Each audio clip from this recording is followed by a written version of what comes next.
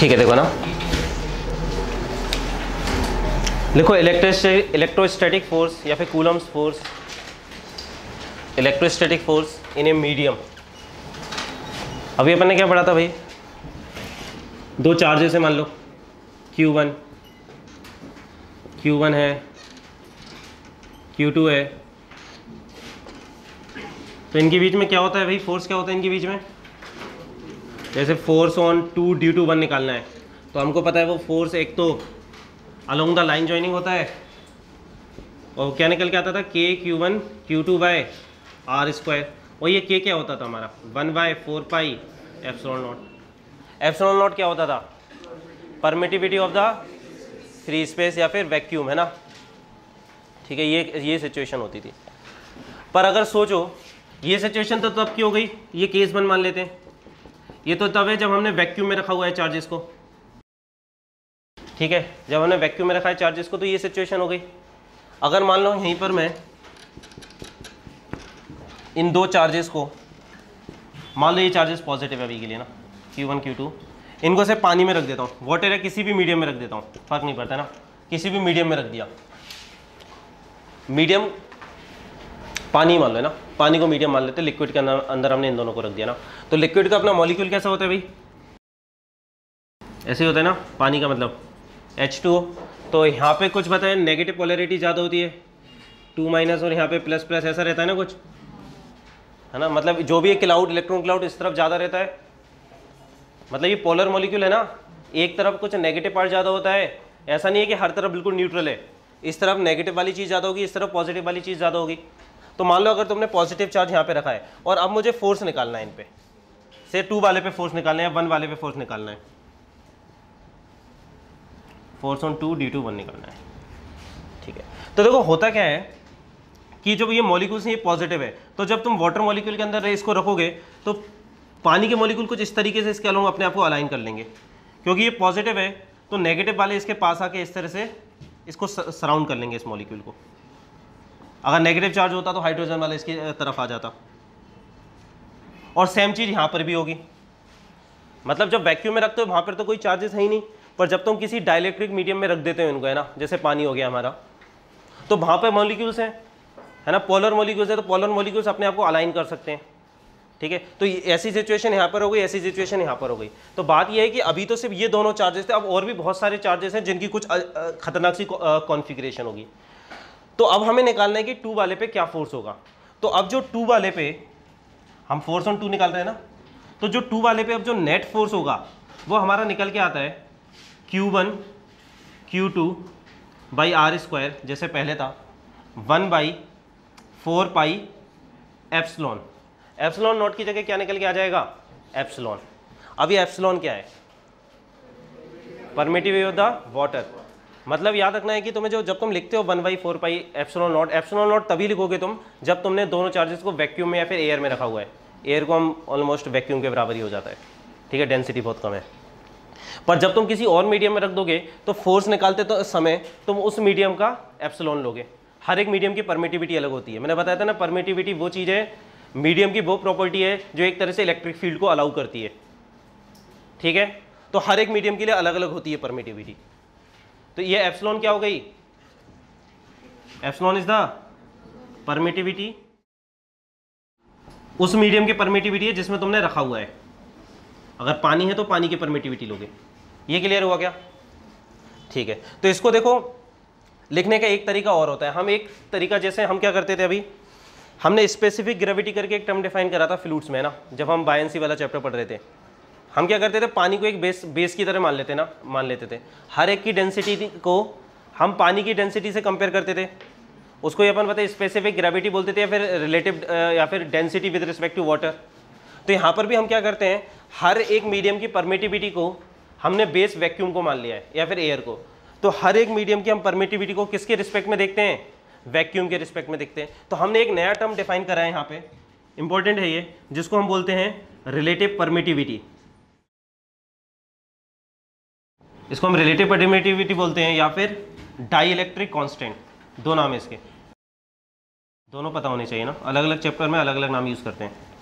तो एक टर्म हम डिफाइन कर रहे हैं, जिसको हम या तो रिलेटिव परमिटिविटी बोलेंगे या फिर डायलेक्ट्रिक कांस्टेंट बोलेंगे। उसको मैं डिफाइन कर रहा हैं एप्सलोन आर से। मतलब परमिटिविटी रिलेटिव परमिटिविटी इसको हम डिफाइन करते हैं permittivity of the medium divided by permittivity of free space या फिर वैक्यूम ये आएगा समझ में? लिखो पहले, इतना लिखो, फिर बताता हूँ।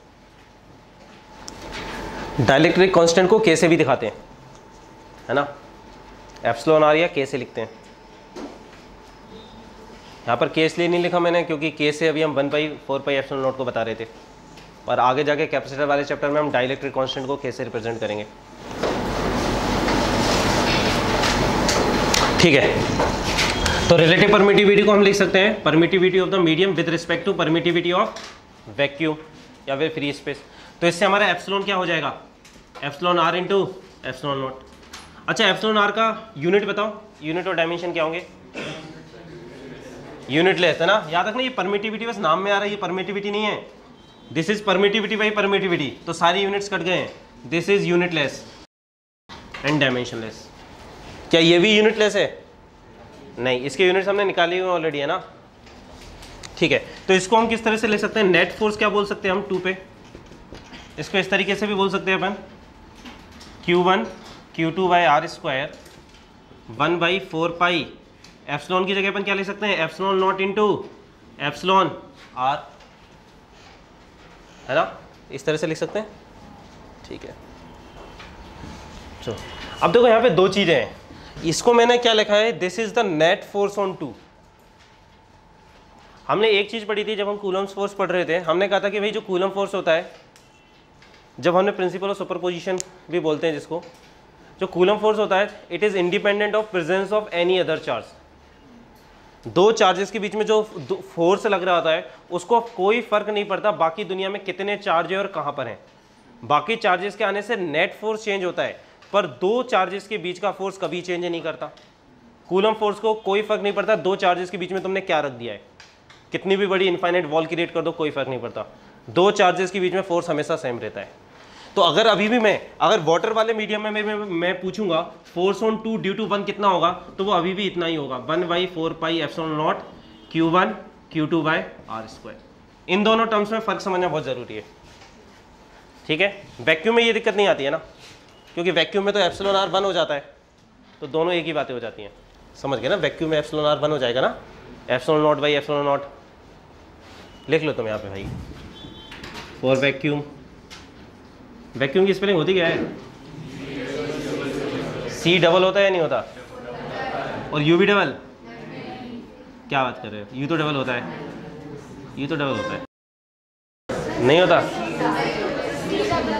ये अब यही दिक्कत है ना, कौन सा डबल है, कौन सा नहीं है। पता है, ये सही नहीं लग रही, पता नहीं क्यों यार। चलो ठीक है। क्या? ये कन्फ्यूज़न खतरनाक होता है। रहने दो तुम लोग। समझ ना? फॉर वैक्यूम ये दो और फ्री स्पेस डायलेक्ट्रिक कांस्टेंट कितना हो जाता है? वन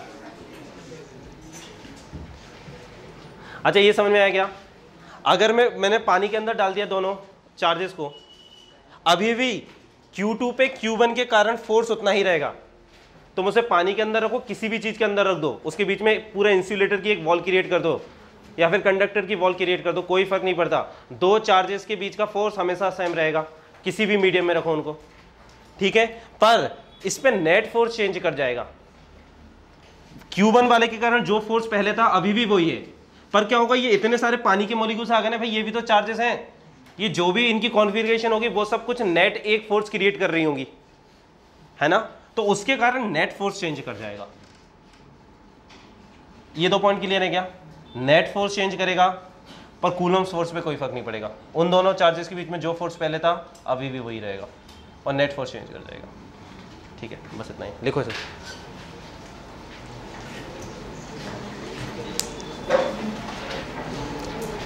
तो यहाँ पे दो अलग अलग पॉइंट्स बताए ना, एक तो। एक तो हमने बताया रिलेटिव परमिटिविटी और डायलेक्ट्रिक कांस्टेंट को इंट्रोड्यूस कर दिया है। ठीक है नोट लिख लो जल्दी से। When two charges are kept in a medium their mutual force remains unchanged but net force on them reduces but net force reduces ठीक है। इसको तुम बताए सिमिलरली इलेक्ट्रिक फ़ील्ड के टम में भी लिख सकते हो ना? कि अगर ब्लैक वैक्यूम में इलेक्ट्रिक फ़ील्ड क्या होगी, बताओ एक चार्ज के कारण। वैक्यूम इलेक्ट्रिक फ़ील्ड क्या होगी? के क्यू बाय आर स्क्वायर अगर किसी मीडियम में रख दोगे तो नेट इलेक्ट्रिक फ़ील्ड क्या हो जाएगी? देखो, ध्यान से देखो नेट इलेक्ट्रिक फ़ील्ड बोल रहा हूँ मैं। वैक्यूम में जो थी, देखो, लिखोगे कैसे ऐसे इसको तुम लिख रहे हो। One by four pi F nought Q by R square इसको कैसे लिखोगे? One by four pi epsilon nought epsilon R Q by R square तो इसको ऐसे भी बोल सकते हो वैक्यूम में जो थी है ना? ऐसे भी बोल सकते हैं। जब तुम उसे किसी मीडियम में रख दोगे तो वैक्यूम में जो इलेक्ट्रिक फ़ील्ड थी, उससे epsilon R times epsilon R के फैक्टर से कम हो जाएगी। देखो, कोई डाउट है क्या इसमें?